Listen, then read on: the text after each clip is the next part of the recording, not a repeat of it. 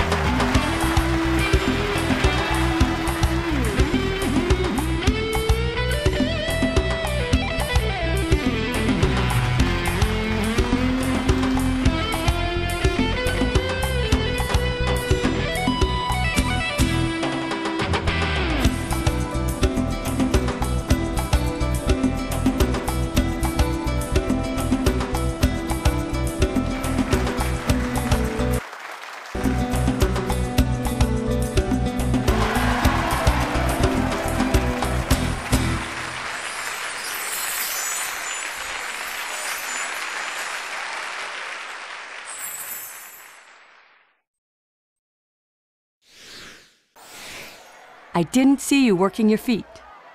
It lacked spontaneity, and there was no naturalness about that dance. Your performance is like a fruit cocktail. You threw everything into it. Will the judges please reveal their scores? Carrie Ann Inaba. Five.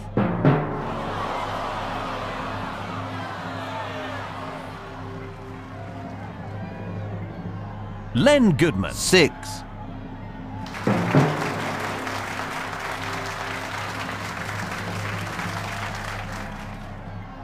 Bruno Tonioli. Seven.